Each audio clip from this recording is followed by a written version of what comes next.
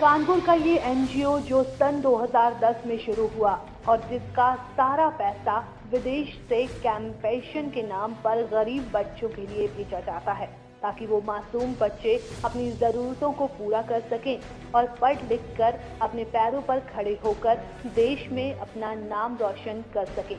लेकिन ऐसा होना ये मुमकिन नहीं लग रहा। क्योंकि पैसा या दूसरी सुविधा जो बच्चों को भेजी जाती है, वो उन बच्चों को इतनी आसानी से नहीं मिलती।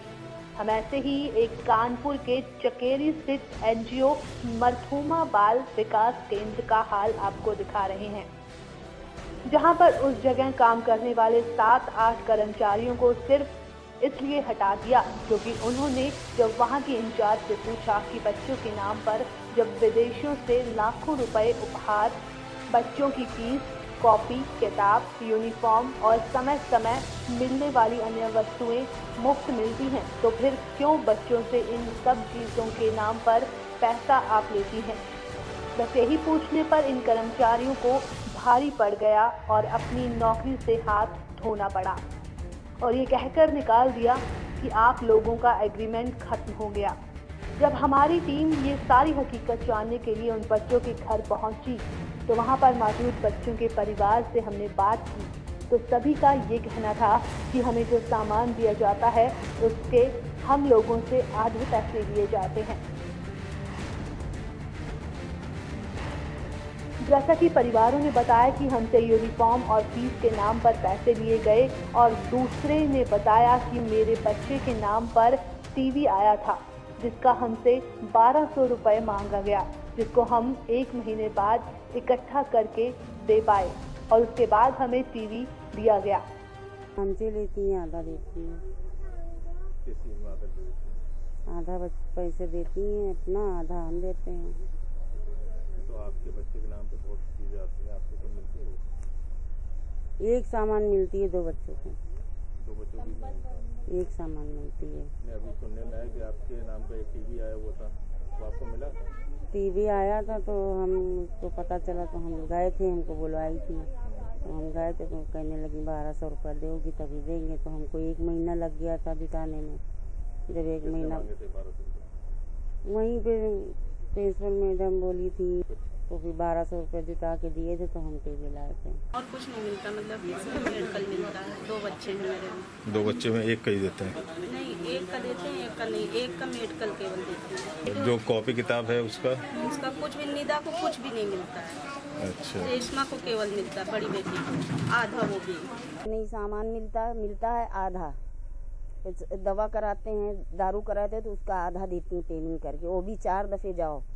और उसके बाद सामान लेने जाओ तो पहले कहेंगे फ़ीस जमा करिए। गए कम्बल लेने वहाँ से पेमेंट हुआ इनके तबीयत के दवा में से उसमें से इन्होंने पैसा काट लिया। वे तब हमको कम्बल दिए ड्रेस का और फ़ीस का किताबों का आता है? आधा पैसा। आधा पैसा मांगती हैं। अभी पर साल के भी पैसा हम पाँच सौ तैंतीस रुपये उनको बाकी है। अभी हम नहीं दे पाए। उनके अब अब की कहीं नहीं कि मीटिंग हुई थी हम मीटिंग में गए नहीं। तो बात होती है, आपकी प्रिंसिपल से बात हुई? जी, प्रिंसिपल ने अब की कहा था कि ऐसा है, समझिए कि बच्चों का पैसा कुछ थोड़ा थोड़ा करके दीजिए तो हम कहा, आप देख रही हैं, सिस्टर मेरे पास गुंजाइश होगी तो देंगे। नहीं, हम लड़की को बैठा भी सकते हैं। मेरे पास अब गुंजाइश नहीं ना किसी तरफ़ से। परिवारों और अभिभावकों को जब पता चला कि ये सारी चीज़ें विदेशों से उनके बच्चे के नाम पर मुफ़्त आती हैं तो उन गरीब बच्चों ने जब एनजीओ जाकर वहाँ की इंचार्ज से बात करनी चाही तो उन्होंने इस बारे में बात करने से साफ़ मना कर दिया। और जिन लोगों को हटाया गया है, उन्हें देख लेने की बात कही। और जब हमारी टीम ने बात करनी चाही तो उन्होंने बात करने से मना कर दिया। यहाँ पर काम करने वाले रोहित ने बताया कि वो यहाँ पर खाना बनाने का काम करता है, और उसके भी बच्चे इसी कंपेंशन में हैं। और बच्चे को जो सामान दिया जाता है, वो उसका पैसा उसकी तनख्वाह से कटवा लेते हैं। हद तो तब हो गई जब उसे भी नौकरी से हटा दिया गया और अब उसके परिवार की ऐसी हालत हो गई है कि रोहित की माता जी को ये डर सताने लगा है कि अब बच्चों का क्या होगा। और इसी के चलते माता जी की हालत इतनी खराब हो गई है कि उन्हें कुछ दिनों पहले अस्पताल के आईसीयू में भर्ती करवाना पड़ा। ये किस्सा यही खत्म नहीं हुआ। इस बारे में जब हमने एनजीओ के डायरेक्टर से फ़ोन पे बात करनी चाही तो उनका जवाब भी यही था जो आपको करना हो आप करो। ये के है बिना नोटिस कैसे जब से ये प्रोजेक्ट चालू हुआ तब से हम यहाँ पर क्या दिक्कत क्या आ रही है? सर दिक्कत तो ये है कि सबसे पहली चीज़ हमारी यहाँ पर जब अपॉइंटमेंट हुआ था तो पंद्रह सौ रुपये देते थे। आज भी सैलरी सर उतनी नहीं है और तीन चार जगह हमसे काम ले रहे हैं। जिसका नतीजा सर ये रहा कि करते रहे मजबूरी रही कि बच्चे छोटे सर हम लोग करते हैं हम लोग शोषण करते रहे काफ़ी नजायज फ़ायदा भी उठाया उसका सारा काम लेते रहे। उसके बाद सर एकदम से बिना बताए इन्होंने निकाल दिए यहाँ से। आपके बच्चे यहाँ पे हैं पढ़ रहे हैं?